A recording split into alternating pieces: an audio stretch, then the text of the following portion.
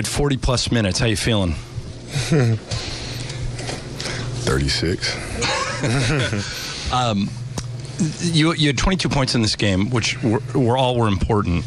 But I have a feeling you felt better about the nine assists. Yeah, man. I mean, we, we really talked about that a lot in terms of how to attack them, and uh, you know, from how they decide to cover me. You know, if they want to stay with me, where the bigs go, where the guards go, and if they leave, um, you know, me shooting a jump shot. So. Did you think when you hit your big three with two minutes to go in regulation that you had them? Well, of course, but you know, they're defending champs, and they're gonna keep on coming. You know, they've done it to us in the past. Actually, even when we were winning championships, they stepped up the pressure, and we had a game like this, uh, you know, a while back.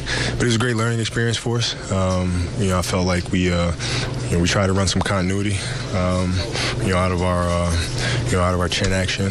Um, um, but you know, it, it's it's we learned a lot because we, we have to learn how to get into positions and use our automatics and use the pressure against them, and um, you know, that'll come. Um, after you at your three, which was a shot to beat the shot clock and one of the best threes of your career, then they go on a 9 0 run. How'd they get back in it? Well, we made some mistakes. Um, um, you know, they picked up their pressure and they made some big shots. And, yeah, that's why they're the defending champs. so let's go to the overtime, and then Nick Young makes an absolutely fantastic three with a guy right in his face. Is that one of those shots that when he took it, you were saying no, no, no, and then yes, yes, yes? What was your perspective on that? No, not really. I mean, I, I, I um, yeah, I have more confidence in his him hitting those shots when guys are draped all over him. I mean, that's that's you know, he loves hitting those shots. Kobe Byron said he put Jeremy in uh, late in that overtime. He thought you were exhausted.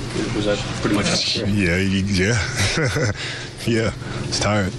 Kobe, how do you measure this when seeing how you're on the road against the world champions? It's got to be a big, probably the biggest win of the season. Would you say? Yeah, it was. It was absolutely. Um, you know, we came uh, we came ready to compete, and um, you know we um, we met the challenge and we didn't capitulate when they made that run and sent the game in overtime. You're getting a lot of credit on Twitter and in social media for um, lighting a fire under the guys yesterday.